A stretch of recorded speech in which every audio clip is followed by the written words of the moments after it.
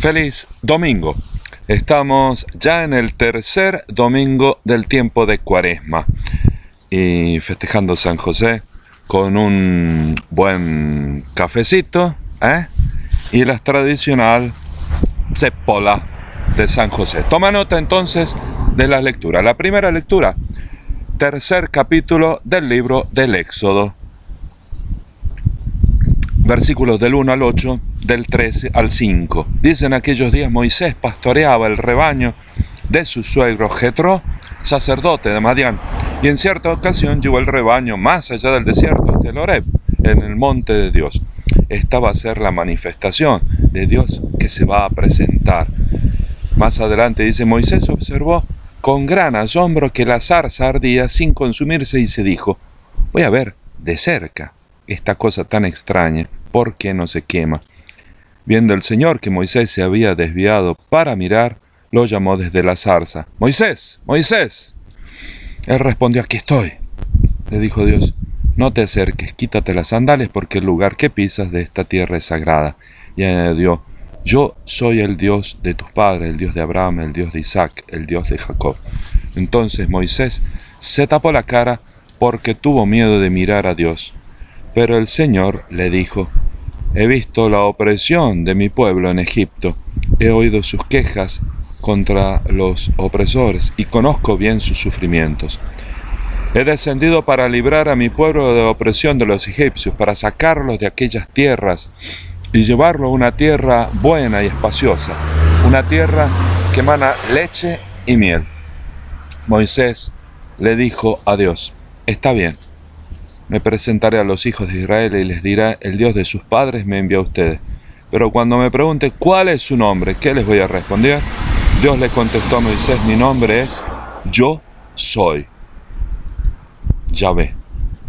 Y añadió, esto les dirás a los israelitas, yo soy, me envía a ustedes. Qué impresionante. Aquí tenemos algo fantástico, que es esta eh, necesidad que siente Moisés como de encerrarlo, como de meterlo en una cajita y decir, esto es una taza, esto es una cépola.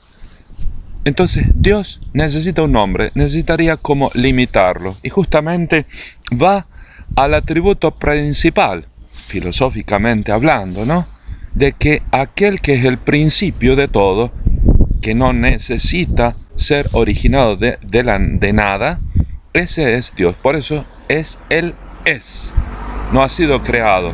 Él existe, se da eh, su ser a sí mismo. No necesita eh, el origen de nada, no participa de nada. Al contrario, nosotros somos y existimos, como dice San Pablo, nos movemos y existimos porque participamos de su vida divina, participamos de su esencia inmutable, infinita. Por eso es este yo soy y se va a presentar hacia ellos.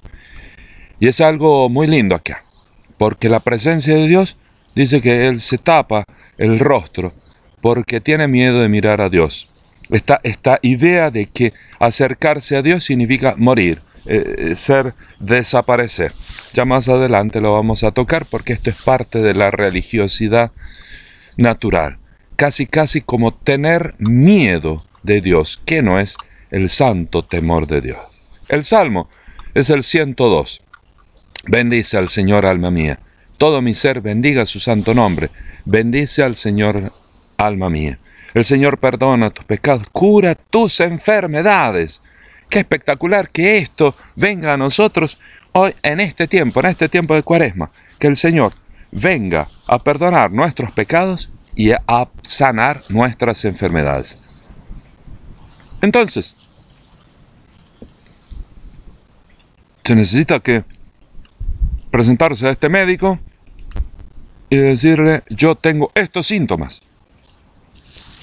Mis síntomas son que eh, me deprimo, mis síntomas son que no soporto a esta persona, mi síntoma es que no me aprecio a mí mismo, mi síntoma es, mi síntoma es, entonces este médico va a poder trabajar sobre nosotros porque va a poder descubrir cuáles son nuestras enfermedades. ¿Y cómo nos va a sanar? ¿Cuáles van a ser estas, estos, eh, eh, antibióticos, va a ser la palabra, va a ser los buenos consejos, va a ser las obras de caridad, va a ser el salir de uno mismo para ir al encuentro de los demás. Fíjate vos que son estos los caminos, las iniciativas que la iglesia nos invita a realizar en este tiempo de cuaresma. Pero aquel que dice, bueno, yo no necesito de Dios, yo no estoy sano, al contrario, es el otro el enfermo, es el otro el que tiene la culpa, es el otro, el otro, el otro. Es el que se presenta al, al, médico y le dice, yo la verdad no sé por qué he venido, he venido solo para que me hagan el análisis, me firme que yo estoy bien, el certificado de buena salud y listo. Y no es así. Ahí está la cosa.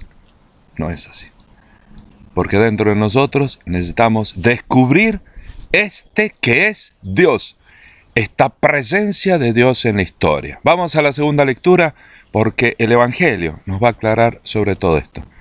De la primera carta a los Corintios capítulo 10. Hermanos, no quiero que se olviden que en el desierto nuestros padres estuvieron todos bajo la nube, todos cruzaron el Mar Rojo, todos se sometieron a Moisés por una especie de bautismo en la nube y en el mar. Todos comieron el mismo alimento milagroso y todos vivieron de la misma bebida espiritual, porque bebían de la roca espiritual que los acompañaba, que era Cristo. Sin embargo, la mayoría de ellos desagradaron a Dios y murieron en el desierto. Si te acordás, el pueblo de Israel, eh, después de los 400 años de esclavitud en Egipto, atravesó el desierto y para eh, atravesarlo le metió 40 años. Una cosa que el mismo eh, recorrido lo hizo José, hoy que recordamos a José, María y el recién nacido, el niñito Jesús. Y lo hicieron una semana, en un super 4x4 de la época, en un burrito, en una semana. La misma distancia que el pueblo de Israel ocupó 40 años. ¿Por qué? Porque el 40 es una generación. Entonces esta generación murmuradora, esta generación prefería tener la panza llena, comer aunque fueran esclavos, prostituirse, eh, sufrir, pero aunque eh, bastaba comer. Entonces renunciaban a la libertad por satisfacer los propios apetitos. Dios nos quiere liberar y Dios los quiere liberar a ellos. Por eso nosotros tenemos esa, esa tendencia también a querer acomodarnos a veces, ¿no? A nuestros propios gustitos y rechazar el sacrificio. Lo más lindo es que al final de la historia está la liberación. No murmuren ustedes, dice San Pablo, como algunos de ellos murmuraron y perecieron en manos del ángel de exterminador. El Evangelio, Lucas, capítulo 13, versículos del 1 al 9. En aquel tiempo, algunos hombres fueron a ver a Jesús y le contaron que Pilato había mandado matar a unos galileos mientras estaban ofreciendo sus sacrificios. Jesús les hizo este comentario y aclaro aquí. A los galileos eran conocidos por ser pocos los de poca cultura, los revoltosos, los que justamente se, eh, no eran dóciles para el imperio romano, pero tampoco para los judíos les caía bien porque eh, eran, eran, eran poco formados, ¿no? Claro que el historiador romano Flavio Josefo no cuenta, no relata, él, que era prácticamente un cronista, ¿no? Del tiempo, no relata esto que, eh, este, este, este hecho de este asesinato que hace eh, Pilato. Pero Pilato era conocido por ser un, eh, sanguinario, un despiadado. Eh, no esperaba hacer ningún proceso judicial directamente. Él decidía y mataba. ¿Qué es lo que ha pasado?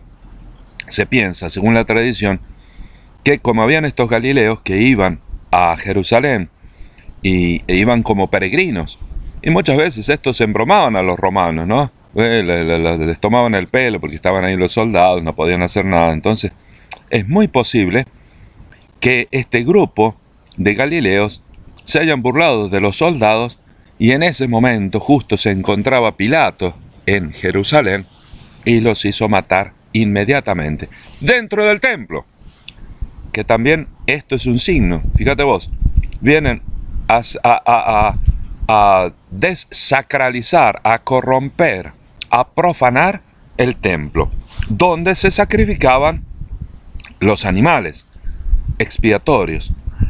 Entonces es ahí mismo, justamente, mira vos lo que son las cosas, es este Cristo, Jesús, que se va a consagrar, se va a donar y se va a sacrificar en el templo, de una vez para todas, para que ninguno más tenga que sacrificar ningún animal. Él se da a sí mismo. Y dice Jesús, ¿piensan ustedes que aquellos galileos, porque les sucedió eso, eran más pecadores que los demás galileos?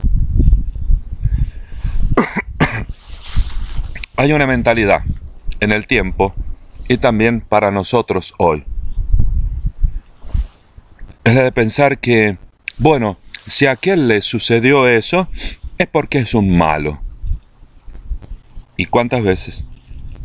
Hasta por ahí, hemos dicho, se lo merecía. Se merecía sufrir eso.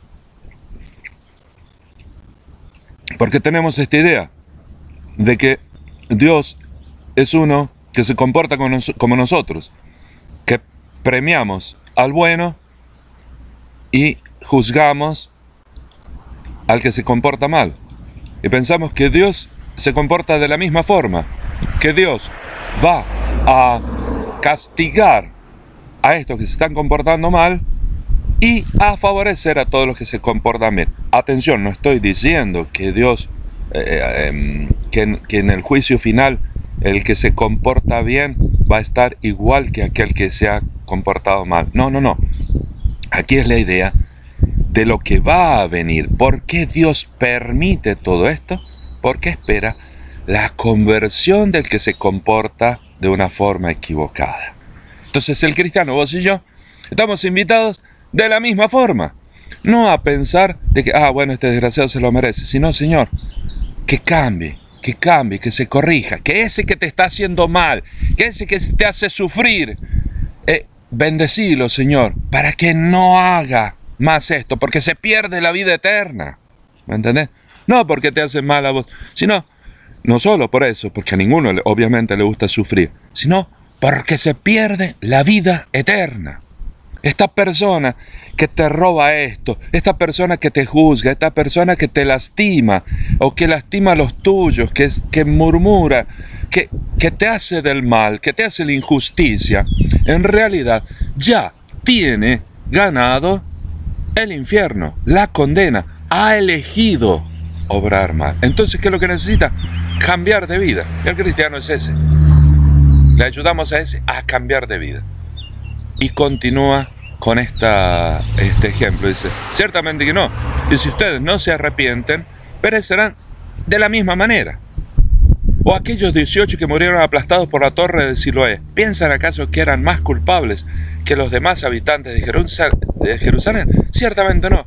Y si ustedes no se arrepientan, perecerán de la misma manera. Qué lindo. Esto seguramente, como se hacían trabajos de, eh, mantenimiento en, eh, al ingreso, o sea, donde alimentaba el río que alimentaba eh, en la piscina de Siloé eh, tenía justamente esta, esta torre. Y muchas veces cuando se hacían los trabajos de mantenimiento eh, podían suceder accidentes. Entonces fíjate vos, cómo el Señor está tocando dos formas. Una, los que son, sufren una injusticia, como aquellos que mueren instantáneamente, de un momento al otro. Porque es esa también la idea. De que la muerte parece un castigo hasta que viene exorcizada por Jesucristo. Entonces le dijo una parábola. Un hombre tenía una higuera plantada en su viña y fue a buscar higos y no los encontró. Dijo entonces al viñador, mira, durante tres años seguidos he venido a buscar higos a esta higuera y no los he encontrado. Córtala. ¿Para qué ocupar a la tierra inútilmente? El viñador le contestó, Señor, déjala todavía este año. Voy a aflojar la tierra alrededor y a echarle abono para ver si da fruto. Si no, el año que viene la cortaré. Es fuerte, porque acá este propietario es Dios, y el, este, este cuidador, este viñador, que en esa viña justamente tiene la higuera. La higuera es el, es el árbol por excelencia para la mentalidad hebrea de, la amistad. Porque abajo del árbol es un árbol frondoso, es un árbol que da una, sombra fresca, eh, es, muy lindo reunirse a hablar, reunirse eh, al encuentro con los amigos. Pero resulta que no da frutos. Y dice, y estos tres años, estos tres años hacen alusión a los tres años de la predicación del Señor, la vida, la vida pública del Señor. Que pareciera que, que, pareciera que esta predicación del Cristo parece inútil, pero dice ah, todavía un año más. Y sabes que este año no es un año más cronológico, 365 días, sino es hasta el fin de la vida de cada uno. Dios está esperando hasta el último momento que nosotros cambiemos. ¿Viste? Antes estábamos diciendo, bueno, también de que el otro, el que se comporta mal, cambie, se convierta, pero dice también nosotros. Dios está esperando nuestro cambio. Que nosotros, ¿sabes qué? Y no me canso de decir, que no nos cansemos de hacer el bien. En una sociedad que, es corrupta, en una sociedad que daña, en una sociedad que se aprovecha. No dejes de hacer el bien, no dejes de, comportarte bien, de darte cuenta cuando hay un error y, cambiar, eh, enderezar el camino. Esa es la felicidad. ¿eh? Y eso es lo que le está faltando al mundo.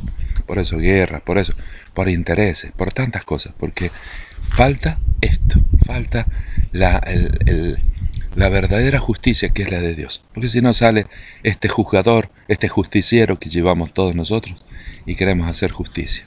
Que el Señor nos dé eh, este espíritu de conversión en esta cuaresma, para que mm, justamente oremos por todos los que nos hacen mal, pidamos la conversión y pidamos sobre todo nuestra conversión. Y acuérdate que justamente nuestra última parada es en el cielo, hasta allá no paramos. Feliz domingo.